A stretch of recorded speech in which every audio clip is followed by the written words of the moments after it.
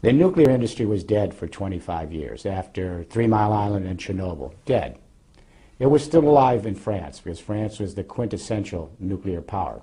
But the reason nuclear power had a renaissance is because of climate change. And so the nuclear industry came back on the coattails of climate change saying, we're part of the solution. We're clean. We don't emit CO2. Clean technology. Let me give you the business case on why nuclear is a no-go. It's not going to happen. It's dead.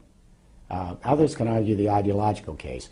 I chair a group of 120 of the biggest companies in the world in IT, transport, logistics, power and utility, construction.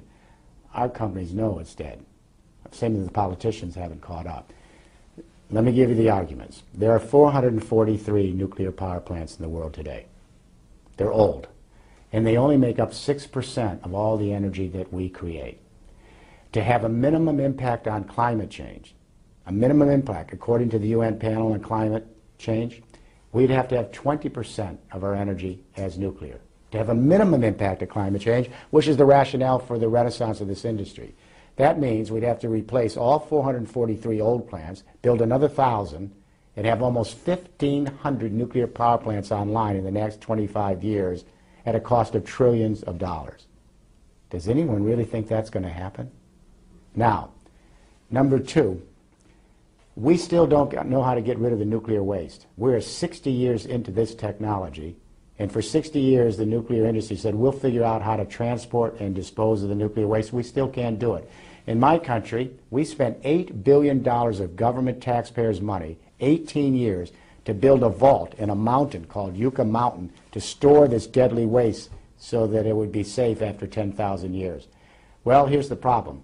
We finished digging the vault, and before we put any nuclear waste in, we're finding structural problems in the foundation because the planet is always moving, the tectonic plates. You can't store it anywhere. Where?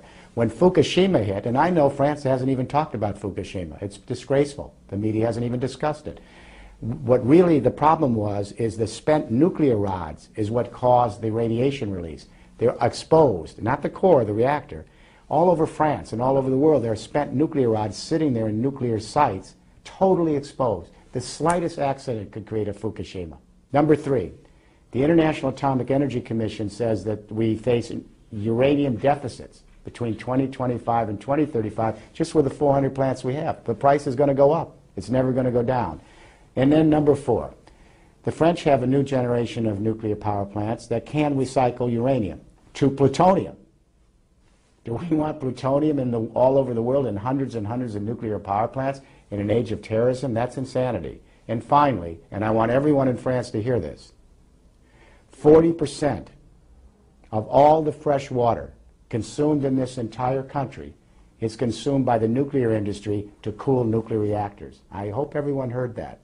And when that water comes back, it's heated up and it's dehydrating the ecosystems that are responsible for agriculture and for a vibrant, uh, sustainable agricultural base in this country. Now, there are saltwater nuclear power plants, but unfortunately, they're on the coast where the tectonic plates and the tsunamis come in and the urban populations are. So there just isn't enough water, fresh water, to do this. Nuclear power uh, is interesting because it's a reflection of the centralized 20th century thinking about energy. Let me use your analogy on why it's so old and outdated and, and will not play a role even in France in 30 or 40 years. So it's not that nuclear power is going to leave tomorrow, but you're not going to build many nuclear power plants anymore, and here's why. The music industry did not understand file sharing in music. Millions of kids started creating software laterally in order to share music. And the music companies laughed. Then they got worried. Then they tried to legislate or, or create encryption, and within five years they collapsed. The newspapers did not understand the blogosphere. Millions of people creating their own information and sharing it laterally. Now the newspapers are going out of business or creating blogs. Encyclopedia Britannica laughed at Wikipedia. Millions of people sharing knowledge with an accuracy rate like Encyclopedia Britannica laterally. Now, Encyclopedia Britannica is virtually out of business.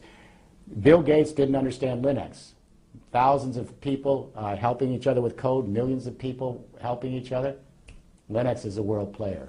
What I'm saying now is it's the same with power. When millions and millions and millions of buildings are collecting their own energy storing it in hydrogen and sharing it across continents on intergrid, the lateral power of millions and millions of small players sharing that energy laterally, it dwarfs, it overwhelms anything you could do with a nuclear or coal-fired power plant. Just like millions of people with grid IT connecting their little desktop computers, the distributed power dwarfs anything a centralized computer could do. Now, what young people should imagine in France is the year 2050.